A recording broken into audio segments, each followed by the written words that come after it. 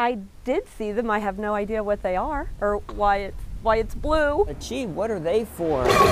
Neither did Ken Brosey. The line is painted on the road right in front of his garage. I think it's pretty neat. And he had no idea that it's for him. He's a volunteer firefighter. The blue line is the township's way of showing support for all of its first responders. We're just expected to be there uh, at the drop of a hat, and uh, it's it's not always easy. In most places, that blue line only lasts about 10 feet, but here in front of Bainbridge Elementary School, it goes the entire distance of the school. That's because the township supervisors wanted to make sure these kids were raised with respect for emergency responders. And this uh, uh, basically struck home when uh, saw that they were continuing to blast the police.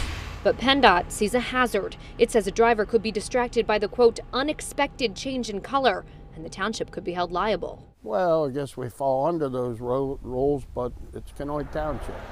The township says the lines will stay. In Lancaster County, Caitlin Smith, News 8.